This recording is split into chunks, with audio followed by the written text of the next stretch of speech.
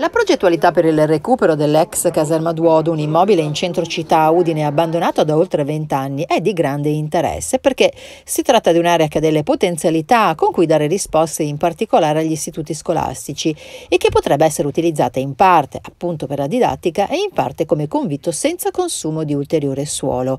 Parola dell'assessore regionale alle infrastrutture e territorio Graziano Pizzimenti durante il sopralluogo alla caserma di Viale Ungheria di proprietà del comune assieme insieme alla collega all'istruzione Alessia Rosolen e al primo cittadino Pietro Fontanini. Intanto ci siamo resi conto che è un'area molto vasta, molto grande, edificata per la maggior parte con grande potenzialità dal punto di vista scolastico e barra convitto, per cui dal punto di vista funzionale e come obiettivo finale mi pare molto ma molto interessante. È un'idea di programmazione sulla quale stiamo lavorando assieme a tutti gli altri attori che partecipano all'attività sul territorio Grazie all'attività degli EDR per quanto riguarda l'edilizia scolastica delle scuole superiori, evidentemente questo andrebbe a risolvere molte delle criticità della città di Udine. Si tratta di un'area di circa 6.500 metri quadri, edificata per la maggior parte e vincolata dalla soprintendenza.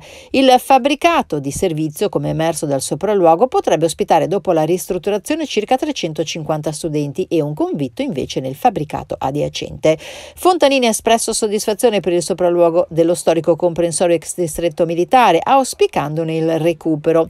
Il primo cittadino ha fatto presente che in questo modo si viene a delineare una soluzione interessante e ragionevole perché la struttura è in pieno centro e permette così di non consumare altro suolo.